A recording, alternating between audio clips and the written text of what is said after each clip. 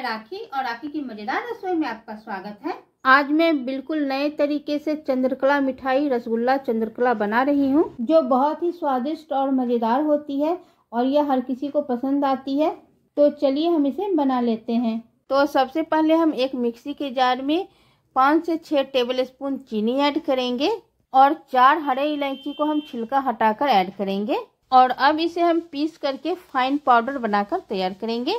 तो देखिए, मैंने इसका पाउडर बना लिया है और यहाँ पर मेरे पास लगभग एक कप छेना है, जिसे मैंने एक किलो दूध से बनाया है। इसे भी इस पीसी हुई चीनी के साथ ऐड करूँगी और मिक्सी का एक चक्कर लगाऊँगी, जिससे इसका एक अच्छा सा पेस्ट बनकर तैयार हो जाएगा। तो देखिए, मैंने इसे पीस लिए हैं और आप देख सकते हैं कि इसका कितना अच्छा पेस्ट बनकर तैयार हुआ है। तो मैं इसे एक बाउल में ट्रांसफ़र कर लूँगी। अब इस पेस्ट को हम दो भागों में बांटेंगे। तो एक में थोड़ा सा ज़्यादा रखेंगे, एक में थोड़ा सा कम रखेंगे। अब कम वाले भाग में हम दो छोटी चम्मच रोज सिरप ऐड करेंगे और इसे अच्छे से मिक्स करेंगे।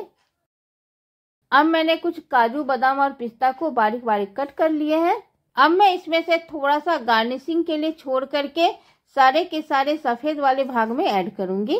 तो इसे हम अच्छे से मिक्स कर लेंगे। तो यह बाउल जो है, सो मेरा छोटा पड़ रहा था तो मैं इसे बड़े से बाउल में ट्रांसफ़र कर ले रही हूँ।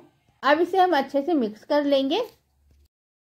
और अब हमें चाहिए रसगुल्ला। तो अब इसमें से हम एक रसगुल्ला लेंगे और इसे हम दोनों हथेलियों के बीच रख करके हल्के हाथों से दबाएँगे और इसका सारा रस निकाल लेंगे।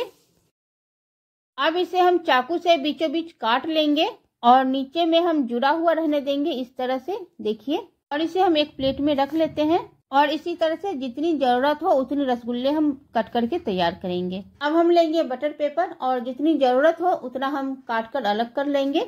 अब इस बटर पेपर को हम कुछ इस तरह से मोड़ लेंगे।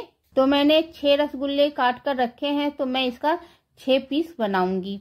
तो मैंने बटर पेपर से छह गोल पेपर काट लिए हैं। अब इस कटे हुए पेपर को हम एक प्लेट में फैलाकर रखेंगे। अब इस रोज वाले मिश्रण से हम इस पर एक राउंड लगाएँगे, इस तरह से राउंड बनाएँगे। आप चाहो तो इस पर चंद्रकला का डिज़ाइन भी बना सकते हो, जिस तरह का चंद्रकला का जो ज्वाइंट होता है डिज़ाइन होता है, उस तरह का।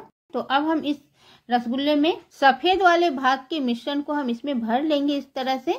और इसे हम अच्छी तरह से बंद कर देंगे और इसे हम रख लेंगे। और इसी तरह से हम सारे रसगुल्लों को भरकर तैयार करेंगे। अब इस पर हम थोड़ा थोड़ा चांदी वर्क लगाएँगे। तो सारे रसगुल्लों पर मैं लगा लेती हूँ। अब मैं इस पर बचाए हुए ड्राई फ्रूट्स को ऐड करूँगी। तो लीजिए फ्रेंड्स, हमारे बहुत ही मज़ेदार रसगुल्ला चंद्रकला बनकर के तैयार हो चुका है। तो फ्रेंड्स, अगर आपको मेरी यह रेसिपी पसंद आई हो तो प्लीज़ मेरे वीडियो को लाइक करें, ज़्यादा से ज़्यादा शेयर करें और मेरे चैनल को सब्सक्राइब करना ना भूलें। तो फ्रेंड्स, मिलते हैं एक नई रेसिपी के साथ अगले वीडियो में। तब तक के लिए बाय